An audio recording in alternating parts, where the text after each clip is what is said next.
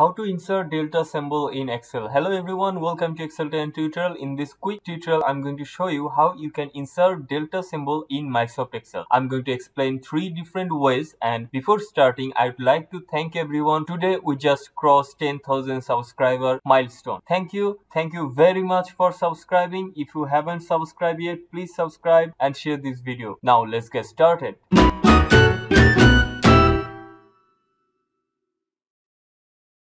To insert delta sign, first I'm going to write D in cell A1, capital D and from here you can see font, I'm going to change it to symbol. You can see here symbol, if I click here you can see that D has changed into delta sign. Now in the second option I'm going to select it from the symbol option. Click on insert and click on symbol and here you can see from the font normal text and subset Greek and Coptic, you will find the delta sign here. Select it and click on insert. So we have selected the delta sign. And in the third option, I'm going to create a autocorrect option so that whenever I write something like this, within parentheses, small d and press enter, it should convert it to the delta sign. Copy the sign from here and click on file, click on option, click on proofing and click here autocorrect option. Now here I'm going to write within parentheses small d here with i'm going to paste the sign. When you have placed the sign here just click add and it is added to the autocorrect function. Now if i click ok and click ok again from now on if i write here small d within parenthesis and press enter it will convert the word with